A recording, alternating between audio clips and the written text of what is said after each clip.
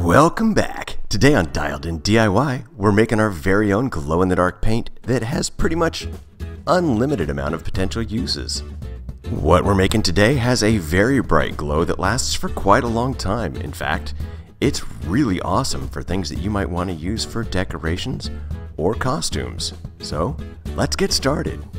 To make a glow-in-the-dark item like the glasses you just saw, all you need to do is get yourself some clear nail polish or clear coat and some white primer to prep the materials that you're going to make glow. And just like using spray paint, we're going to have to shake up our paint to mix it up really well first, and we're going to add two or three of these small ball bearings to help with that process. The other key ingredient that we're going to be using here is a super glow powder that you've seen me use in a lot of previous videos, but we're going to get to that in just a minute. First, we need to prepare our different polish bottles for getting the glow powder inside. To be completely honest, adding the glow powder to the nail polish is a pretty tricky process unless you make one of these little funnels like we're doing right here. This will help get the powder inside much easier.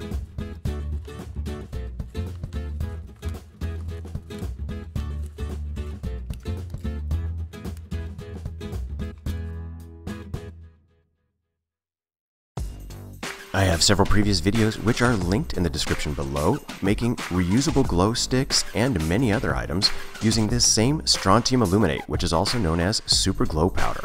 Today I'm going to be using a half a teaspoon of an aqua colored glow powder, and before I add that in, I'm putting the two to three small ball bearings into the polish bottle first. Using this technique, it's actually quite easy to go ahead and add the strontium aluminate into the bottle as long as you take your time. Kind of pour it a little bit slow, that way you don't block the end of the tube that you've got in the bottle and it'll all go in just like this. You'll notice it all settles to the bottom, which is why we added the ball bearing so that we can put the cap back in it and shake it up really well. If you don't hear the ball bearings rattling around, it's not mixed enough yet, and when you're done you want it to look a little bit like this. In order to demonstrate the use of this paint, I'm going to go ahead and pick an item to paint, which is an old pair of sunglasses. I'm going to pop out the lenses and take the frame apart, and then give it a quick wipe down with some rubbing alcohol before I hit it with a coat of white primer. The white primer serves two purposes. One, it gives it a good, clean background to put paint onto, but it also is a light reflective surface so that we don't have to use quite as much of the glow powder in order to get this to shine and glow bright in the night.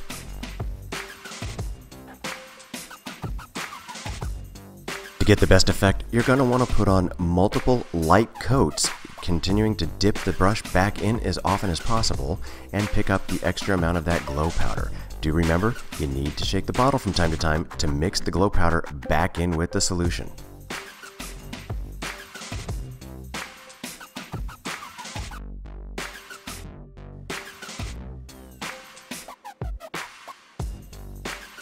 When I was done with the first coat, I let it dry and put it in the dark and found that I did have some patches that needed covering up again.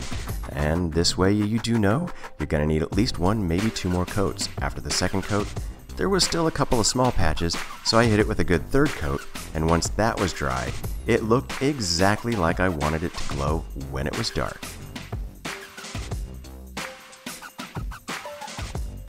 When everything is dry, run your finger along the surface and you're going to find it feels a little bit like sandpaper, and that's because the glow powder is like little grains of sand. We don't want that rough finish on the surface of what we're going to have, especially on a pair of glasses like this, so I want to smooth it out and protect the paint. The easiest way to do this? A couple more layers of clear nail polish, or some top coat.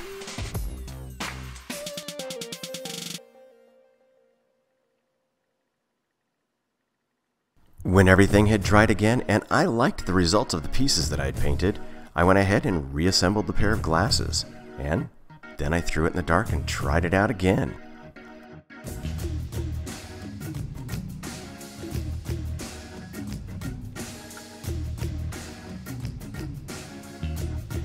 Charging up the glow for this paint is quite easy. I find that just putting it under any form of bright light does a really good job. In fact, the brighter the light, the shorter the amount of time you need it in there. About 15 to 20 minutes will give you a really solid glow. But if you want to get a fast, really powerful glow, try hitting it underneath a black light. You can get really creative with these kind of super glow powders and making different kinds of paints and finding things to paint with them, and you can get a lot of different colors too. If you like, you can check out some of my previous videos where I've made other things using strontium aluminate and had some really amazing effects.